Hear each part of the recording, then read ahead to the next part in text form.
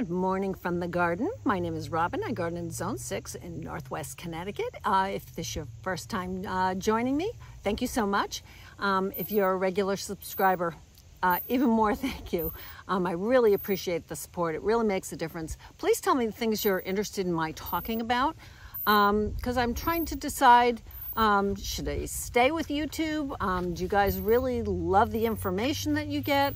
Or are you basically only watching, you know, one or two other channels and, you know, you come here once in a blue moon? So, what I wanted to talk about today, something I did talk about last year, is winter interest. I live in Connecticut, in the Northwest area. Um, we get a lot, well, I should say we, we typically get a lot of snow. Um, we didn't get snow last year. That's not good for plants. If, number one, because uh, we, then we don't have water, you know, in the following summer. But so since we are looking out at our garden from, you know, like the kitchen window or wherever, um, for a good part of the year here, we want winter interest, we want structure and things in our garden to look at. I have been pulling out some perennials, I know, oh my God. Um, but you know what? H has kind of taught me that I don't want to work this hard. Um, I have a very large garden. It's over an acre. It's well planted. Um, and I don't want things that need a lot of maintenance. So I'm trying to pull out things and replace them with evergreens and um, or trees, things that don't require my intervention on a regular basis. So before I start talking, I'm, I'm going to walk around and I'm going to go bed by bed. Uh, I don't know if this video will end up being so long that I'll have to break it into two parts. Um, however, um, I'm trying to decide whether I should give you guys like all the information on each plant or should I just tell you uh, what it is. So I'll, I'll have to decide. I actually have with me literally my lists. I keep sheets on every single thing that I plant on top of an Excel sheet and all that stuff. Um, so I have, you know, all the details when somebody asks me because I, I, can't remember the zone of every single plant or exactly how big something is supposed to get. Um, so I'll, if you want that kind of information all the time, please let me know. So let's let's just start, and I want to start somewhere different right now. So I don't know. I'm a big fan of Monty Don um, on BBC Gardener's World, and I'm sure a lot of you are also. And some of the things that he has said recently really have resonated with me. Uh, one, and I do this anyway because I have books, I have garden journals, I write stuff in them every day. What did I do? What's blooming? What's not doing well? So you want to be making notes now while things are growing so you can clearly see what you maybe want to make changes um, now or next spring. Um, so it's a great time to do that. Uh, it's fall is a great time to plant. The ground is still warm. There are many things you can still plant. Now here, it's been a pretty tough year um, for many really heat-loving plants because we've had excessive rain and humidity here. But you can safely plant trees and evergreens now through the fall, being mindful of whatever your first frost date is. They say this year that ours is October 12th. Um, I'd say that's a light frost. I, I, am not even usually planting my spring bulbs until uh, early November. Um, and so I'm probably also not even pulling my dahlia. Well, this year I'll probably pull my dahlias a little earlier because they're actually in pots. When they're in the ground, I probably don't because you really want the foliage to die back for a little while before you start pulling them up. You can, um, I wouldn't divide grasses now. Wait till the spring to do that.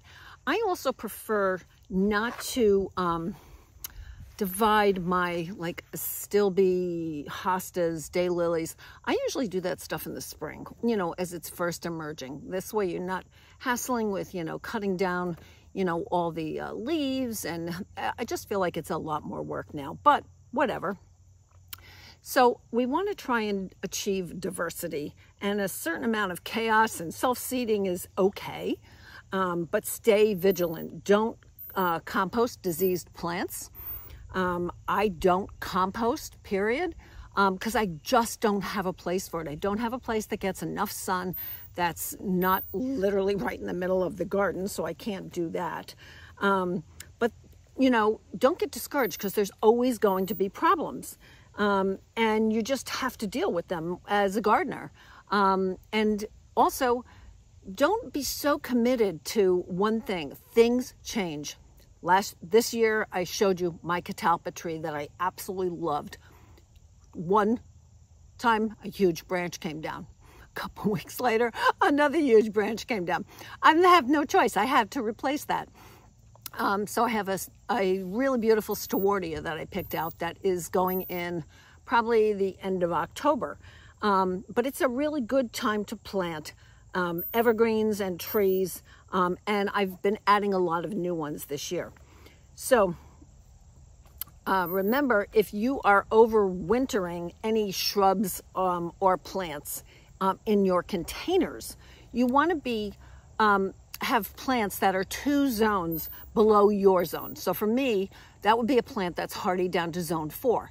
Now I have some roses that are hardy down to zone four, um, but I have um, others that aren't.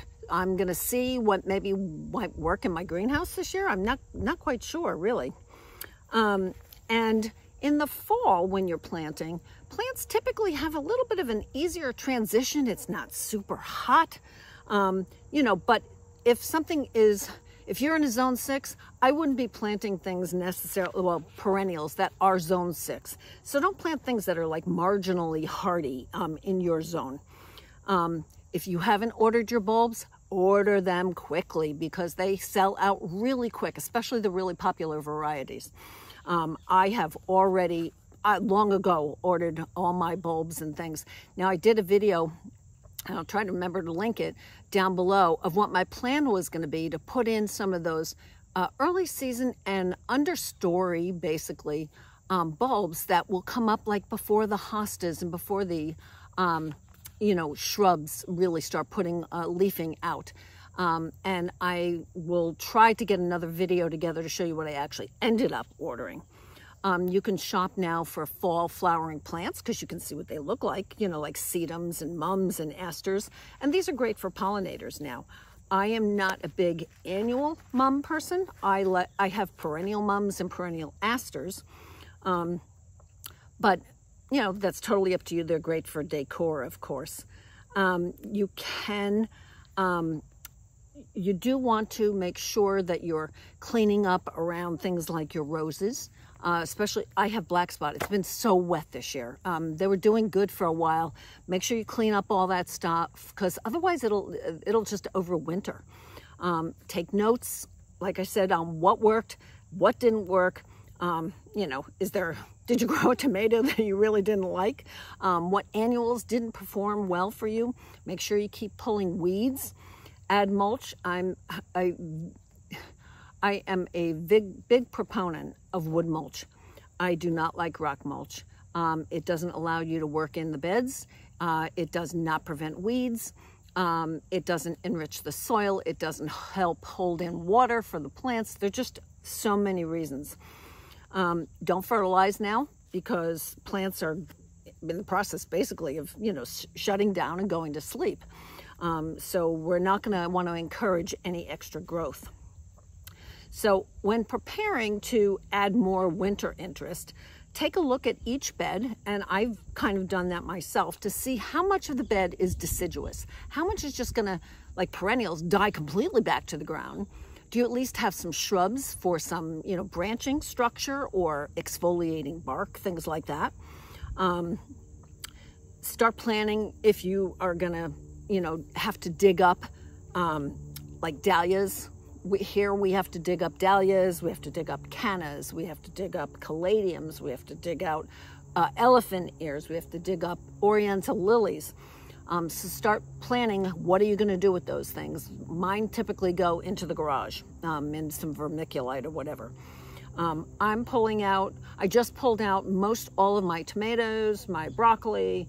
I still have potatoes and carrots going, um, but I'm getting ready to do another, I'm going to start planting garlic uh, probably, probably in another month or so.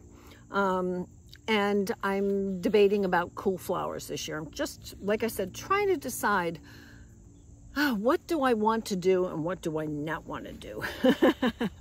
but fall is also a great time uh, for hardscaping projects. Um, you can kill the grass. I use that cardboard method all the time.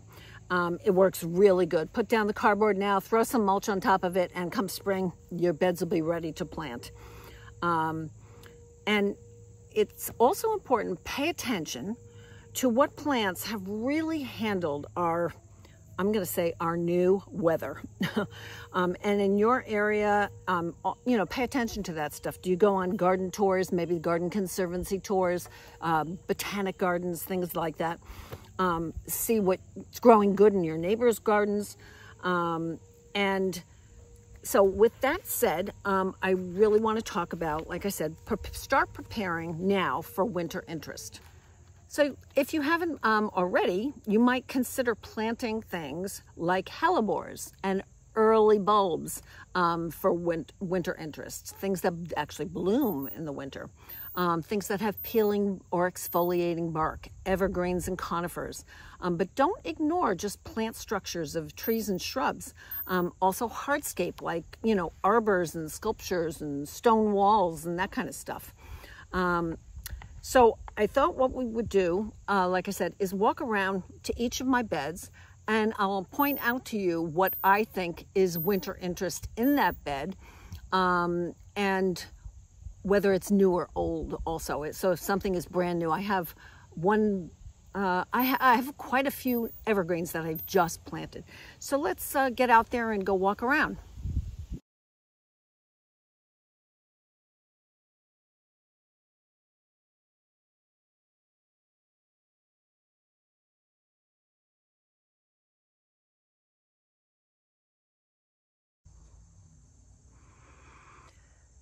So this bed started out completely as my shade bed. It actually gets a fair amount of morning sun now. Um, and you can see right now there's still some sun here. So what do I have here for winter interest? I'd say branching structure and exfoliating bark. So along the back here, I have nine bark Diablo. Um, and that has a beautiful exfoliating bark. Right now, of course, it's, it's gorgeous color. I have French pussy willow here um, that also Again, really pretty branching structure. It gets like 25 feet tall by 12 feet wide, zones four through eight. So this is a Salix caprea. Um, I have a um, sort of behind, and I can't even get in there to tell you the honest truth. Um, I have a Hamamelis. Um, I'm not sure which variety. I think Jelena. Uh, those also get 12, uh, like 12 feet tall, 15 feet wide. It blooms though January to March. Um, and it can handle clay soil, zone five through nine, but it blooms in the wintertime. So this bed, I can't even see this from my house. Um, the sadly, the Hamamelis used to be in a bed that I could see, but you know, things happen and we just moved it and we keep trying to hope it that it grows. But the rest of this stuff are all perennials except for the hydrangeas and the hydrangeas of course will keep, you know, branching structure, but they won't um, have any other interest in the winter. So this is the first bed.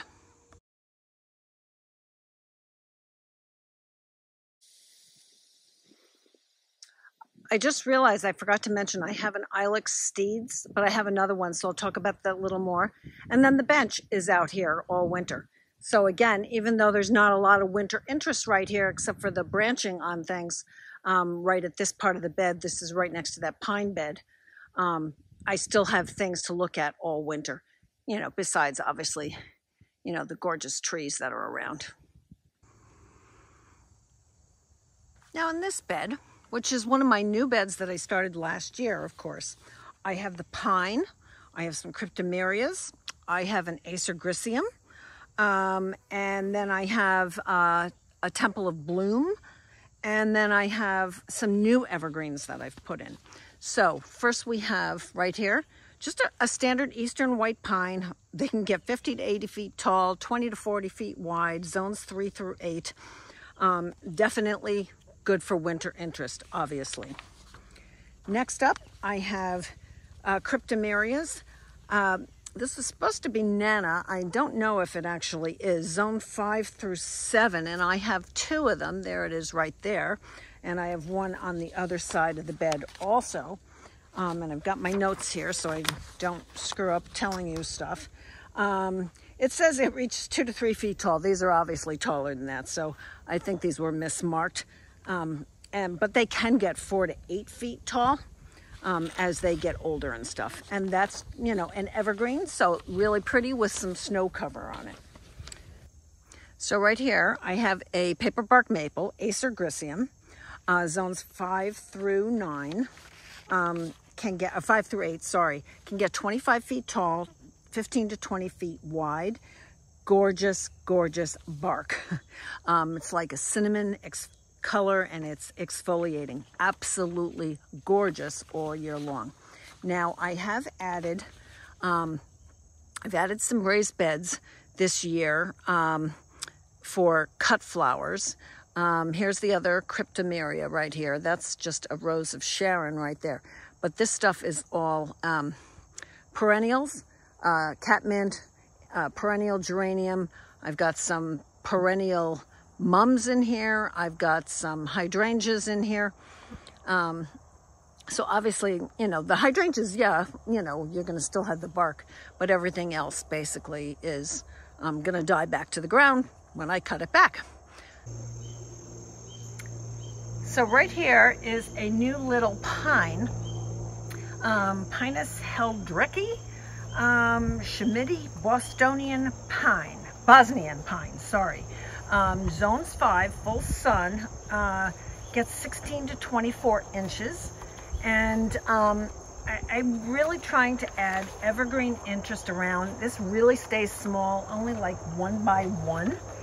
Um, so that's the new one right here, right here in the corner so I can get some interest there. I also added, moved, or, moved over and added some other stuff right here.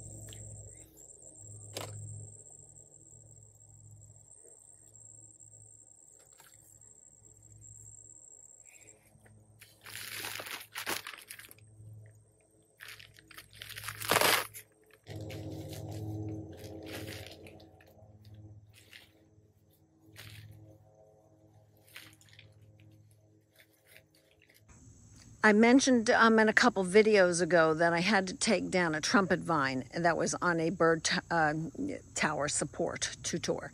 Uh, this is where we moved it back here. And I have just added some other um, perennial hibiscus back here. I think they're actually being eaten. So that's, you know, winter interest from things like arbors, like bird feeders, bird towers, that kind of stuff is very effective. Now the other thing that I have also been adding here, let me spin around right here. So I have moved my seven son right here, Temple of Bloom. Again, that's just gonna be branching, but I have also added some right here. See if we can get that down there. There we go. Um, I've added some junipers in here. Uh, I've added Juniper chinensis Daub's frosted, uh, which is the one there on the left. And that's um, zone three, full sun, two feet tall, four feet wide. Um, really pretty with that, you know, like yellow green. And then the other one, I'm actually trying to remember what the name of the other one is. Let me, let me go take a look and tell you uh, Juniper Gold Star. is the other small one that's right there that I added. Um, so again, small things, things that are not going to get gigantic over time, but that will still add some winter interest. Now right here, obviously you can see the pinky winkies are in full bloom and the viburnums are starting to get absolutely gorgeous fall color. Now, again, they're not going to have their leaves in the wintertime, but the structure of the leaf canopy of, of the branching is just fabulous all winter long until we get the, the blooms in spring. So let's just walk. So the dawn redwood obviously is deciduous and it's going to lose its leaves, but gorgeous in the wintertime. Then we have, you know, plant supports like we have right here that we can see. The viburnum, again, beautiful structure. I have no idea why it's blooming, um, but the fall color is just gorgeous. Then over here, I have a Chamaecyparis. Uh, I honestly don't know what it is because it's not what I thought it was that I planted years ago, but they're typically, uh, these cypresses are typically zones four through eight. I will be leaving up things like Shenandoah grass. Uh, so some of my grasses I do leave up and some I actually do take down. Now I've just added a couple of new things. So this little pencil point juniper, I just added that. And these grasses do come down in the wintertime. And then I added a little Brobex tower right here. So the pencil point juniper um, is zones uh, two through eight. It's very small. It's it's only going to get like three and a half feet tall basically stay one foot wide. Um, and it gets uh, it likes full sun. I'm getting a lot of shade right now from that big, those big maples um, are causing a lot of shade in the garden at this point. The Brobex Tower um, will eventually get to be like seven feet by two feet and is zone three. Um, but that's like after 10 years. So again, all of these grasses, these do get cut down in this bed. I'm also been pulling out year after year after year, I'm pulling out black-eyed Susans because um, they get very invasive in this particular bed. They just spread like crazy. And I think I'm also going to maybe pull out some phlox. Things, this bed is just way, way too crowded. But again, you can see I have plant supports. So those are, uh, those stay out all year. So I have interest from those things all year long, whether it's, you know, just plain simple black ones, whether they're decorative ones. So let's walk around the other side. So you can see that, well, the pollinators are going crazy. Look at the butterflies. Got butterflies all over. So pretty. And it's such a pleasure to see. See if we can get these guys. So pretty. Let's walk around the other side. And let me show you another plant. Of course, we have this arbor that we see all winter. So over here, I have a gold cone juniper. Um, and you know what this is? Uh, it's a little prickly, so I don't go rubbing my hands all over it. Um, I've covered it a few years um, where I've actually covered it over to help with uh, some winter damage. I actually still have some winter damage on the back side of it over here from last year. Um, so hopefully we'll see what happens this year with it, but um, I've had this one for a really long time. Now the gold cone juniper um, is a juniper communis, um, zone five through seven, uh, it says it gets five feet tall. Okay, obviously way taller than that. Likes full sun, uh, tolerates deer.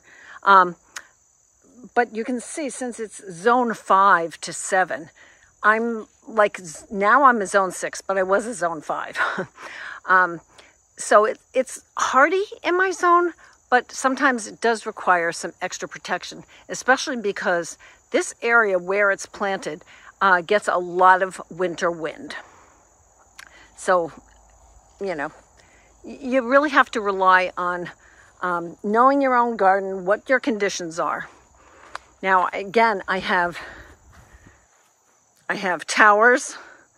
The bird bath gets covered, but I have this, you know, gorgeous arbor that even when the wisteria is, you know, not in bloom, I still have, you know, a lot of interest from that.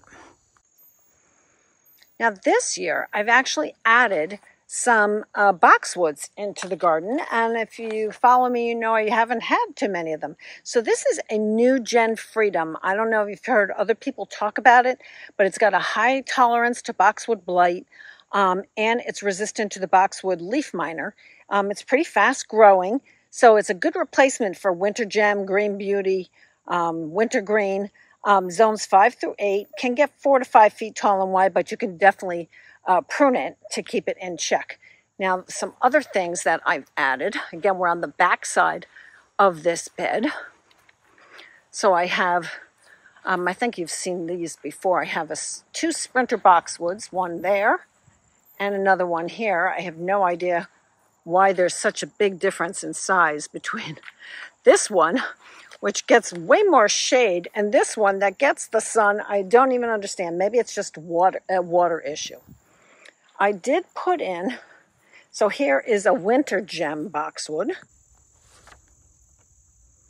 It's pretty sunny out here right now, so I'm not sure if you can even see the winter gem boxwood. Um, is zone five through nine, can get like four feet tall. The sprinters are zones five through nine, and um, those are usually two to four feet tall and wide. Now that Mops Mugo that I told you is totally hiding underneath there does like uh, either full sun to partial partial sun can get four feet tall but like in 30 years.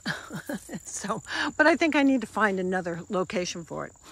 Now look at that norway spruce oh my god like i said I, don't know if that was more than eight feet tall when i planted it the same with the colorado blue spruce the same with the the um, this is a blue spruce. This is a Colorado spruce next to it, right there. And then an Abies concolor fir. So again, in this bed, I've also been adding more stuff for winter interest. So let's take a look at those. The mighty Norway spruce can get 40 to 60 feet tall and 25 to 30 feet wide. It's hardy in zones two through seven, definitely tolerates deers, attracts birds. The birds are always flying into there, especially in the wintertime, and definitely loves full sun. So then right next to it, I have put in a few little other things. We have sky pencil hollies in here. And then I have a new little spruce and then we just planted a Skylands that I'm very excited about. We took out, um, if you've been watching me, you know, I took out the Rudbeckia Herbstsonne that was right there because every year, even though these things, all these plants right here are tied up, the Herbstsonne especially falls down, breaks in half.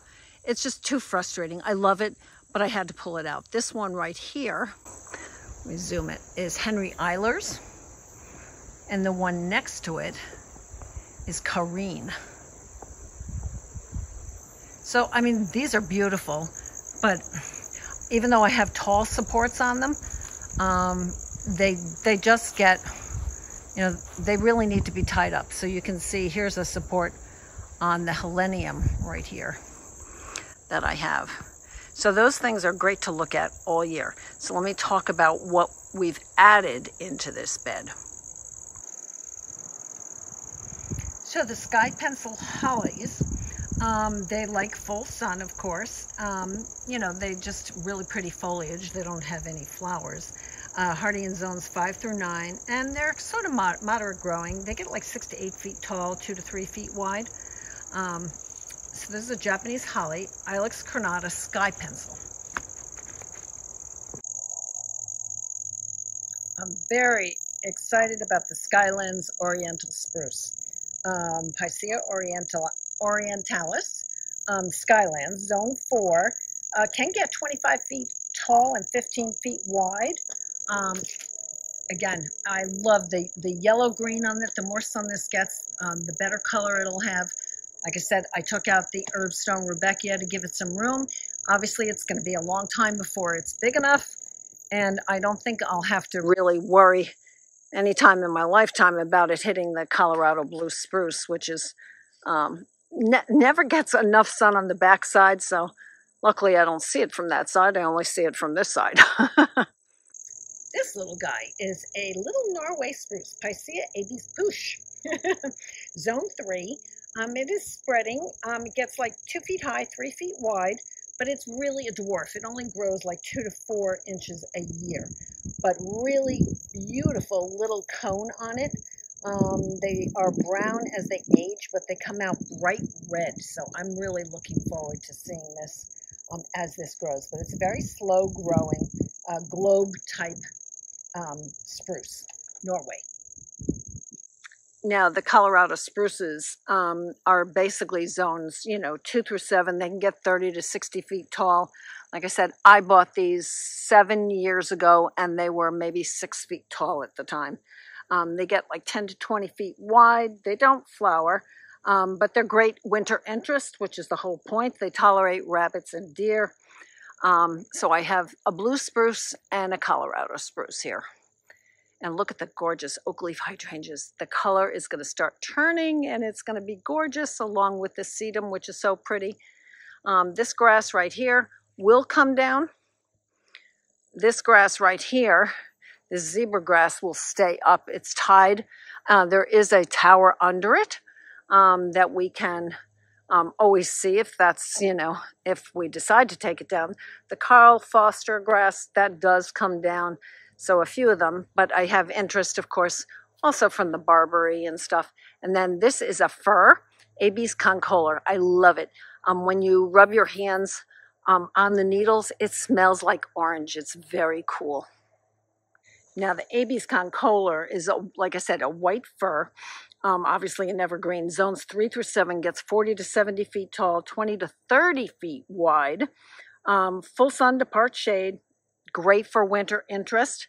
And then in front of it, I have, again, this grass is going to come down here. And this is a callicarpa, which soon will be completely covered in purple berries.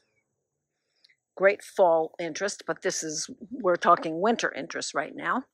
So we've got some more chamaecyparis over here. This is lemon thread. Now these are zone four through eight. Um, I see people let these get super tall. I keep mine cut back. I don't want something that's 10 feet tall. Supposedly they only get like three to five feet tall, two to four feet wide, but you can see right there that that's not the case. Um, great for winter interest because you have that yellow green, which is nice. Now here's the red bud that I talked about that I just planted. This is a flamethrower red bud.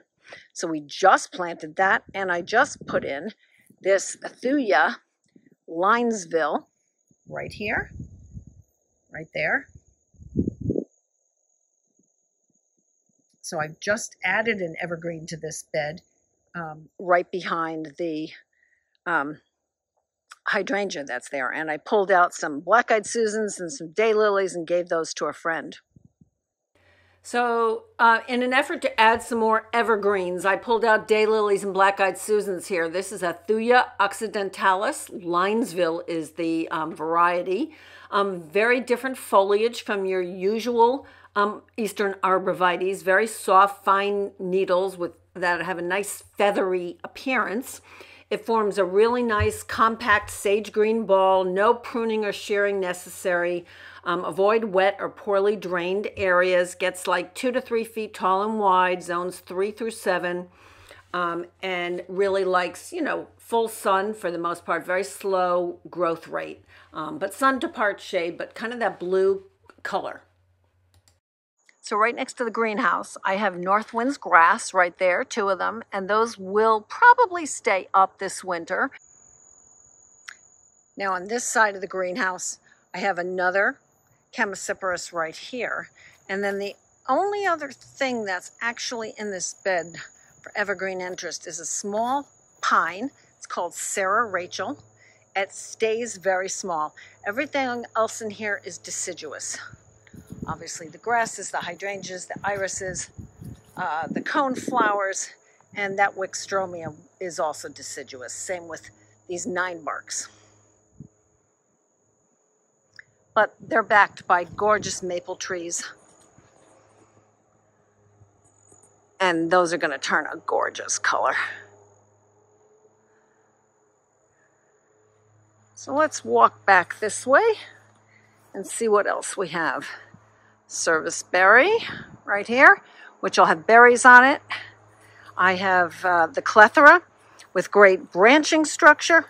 Um, and even though, again, that's deciduous, um, it's gorgeous covered in ice. Another one of the new gen boxwoods. And in this bed, I've been adding hellebores for winter interest. And of course, we have we have our bird tower, which needs to be straightened. But I love this. I absolutely love this one. Now in this bed here for winter interest, I have two hawthorns. They have beautiful bark.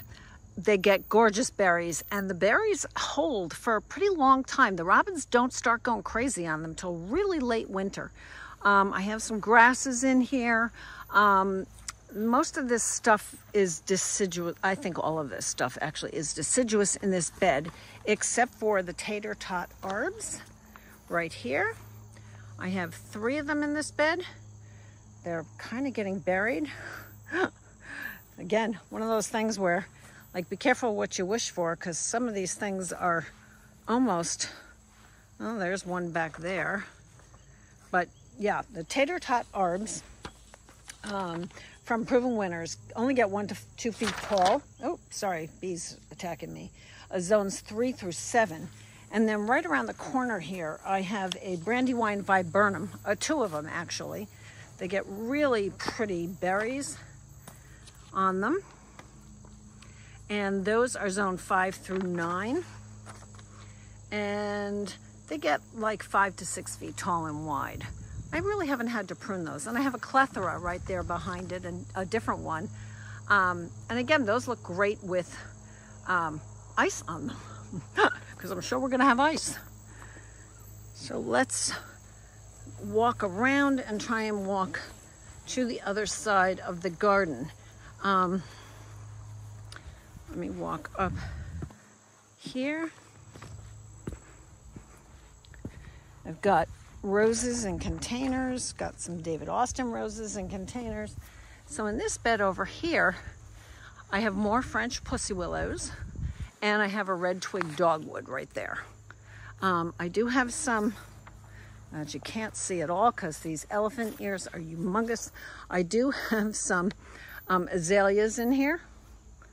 And, oh my God, that spirea has gotten gigantic. Holy mackerel.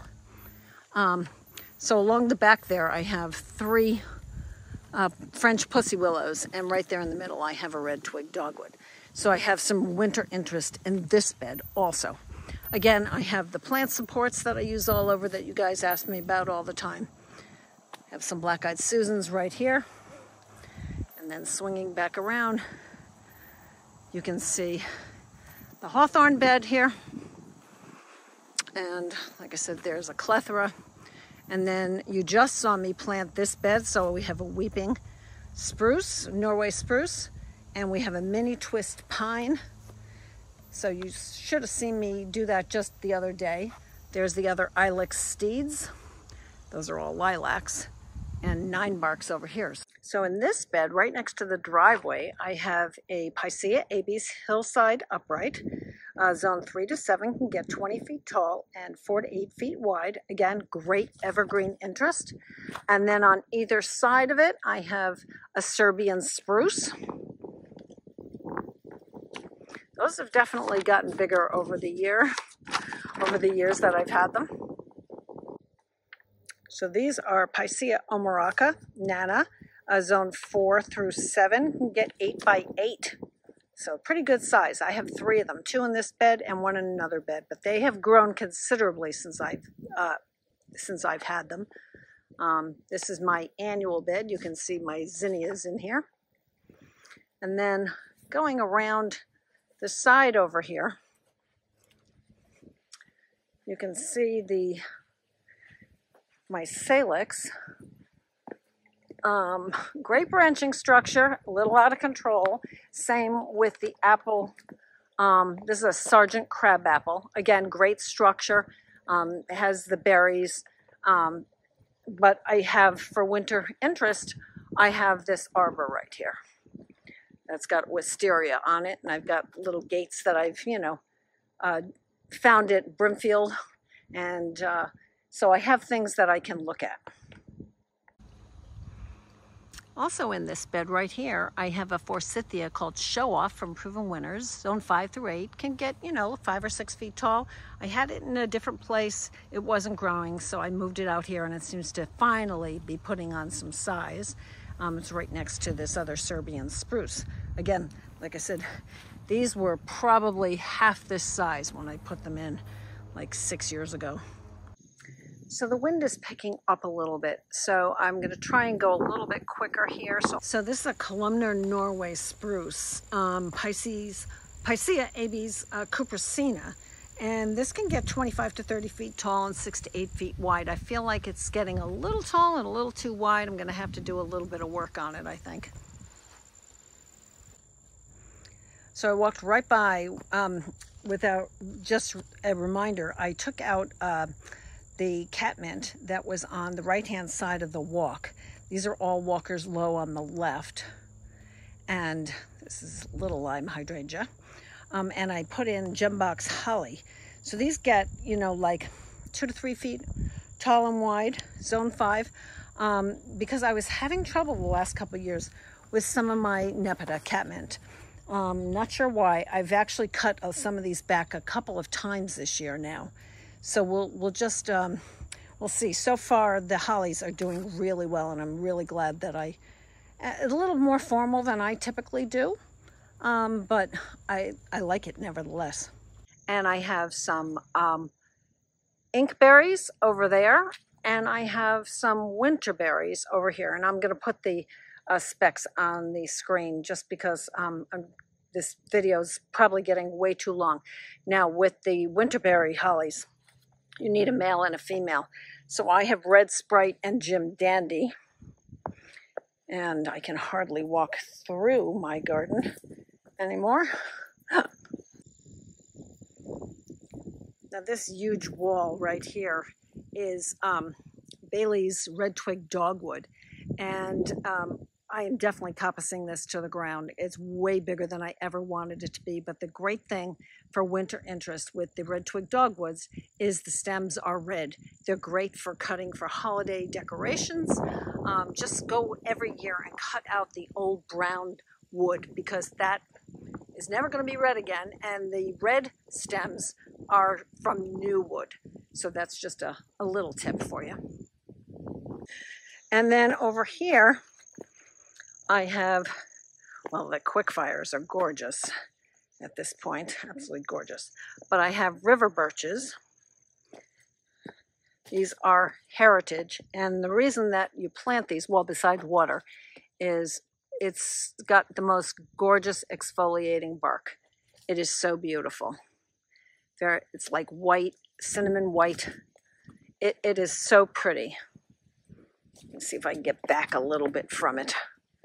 Let me get down the path here a little bit with the, you can see all the nine barks here. And the Salix Hakuro Nishiki. So hopefully, without killing myself here, you can see the river birches. Obviously, they can get very, very tall. Um, I also have on the other side a live, river birch little king.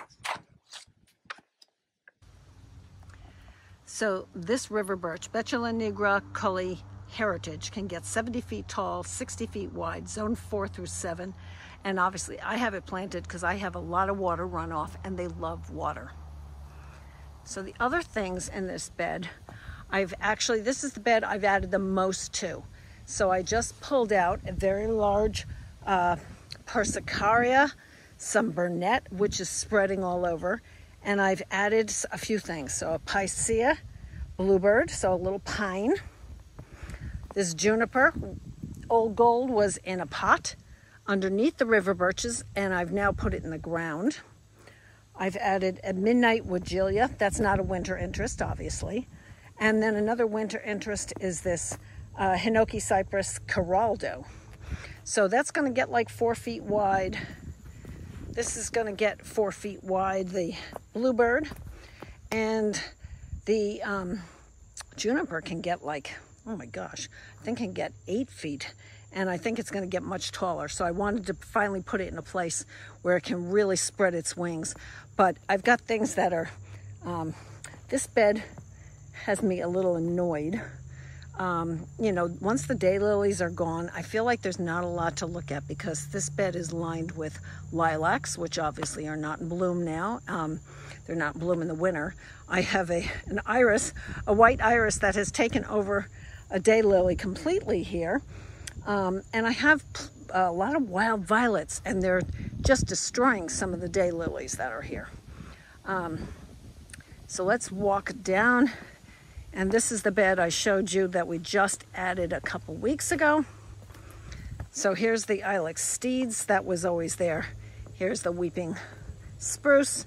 There's the mini twist pine. I absolutely love that thing. I even put it in at a client's. I've got dahlias all over and I still have some cleomes. I've got some boxwoods also hiding down in there. And then there's the hawthorns. So I hope this was interesting. And lastly, this bed right here has some boxwoods. Uh, I don't remember what they are. Um, I don't know if I ever knew. I think they're just a common boxwood. And then this is a little king river birch. Love it again with the exfoliating bark. It's absolutely beautiful in the wintertime. Not sure. I think even now you can probably see this. It's just absolutely beautiful. So these are things to consider.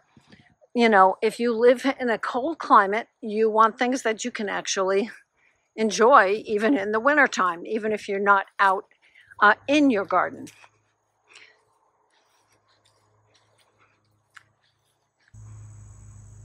I thought I'd end this video by just giving you a close-up again of some of the plant supports that I have.